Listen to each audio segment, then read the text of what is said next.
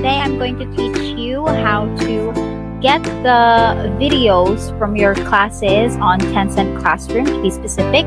So first, you're just going to open your tab and you're going to search your uh, Tencent Classroom. So as you can see here, I am in my Tencent account. What we're going to do is we're going to click class schedule and click completed. So what you need is you have to remember the course ID okay, the course ID, and at the same time, the uh, course name or course type. So here you can see the course ID and the student information.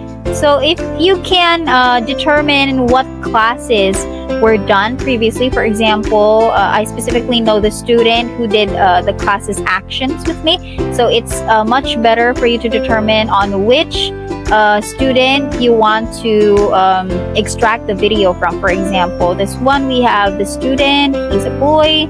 So enter details and then you just click save to local and your video should automatically be downloaded to your local uh, local what do you call this one your local folder okay so just wait just click save to local or you can edit the video if you want. So these are the highlighted moments. And then you can click download. So those are the two ways for you to download the video. And as you can see it's already here in my tab. So you can go back and look at your uh, videos anytime that you want. So this is helpful most especially if uh, for example, there are complaints or there are things that you need to clarify within the class to be sent to your TM.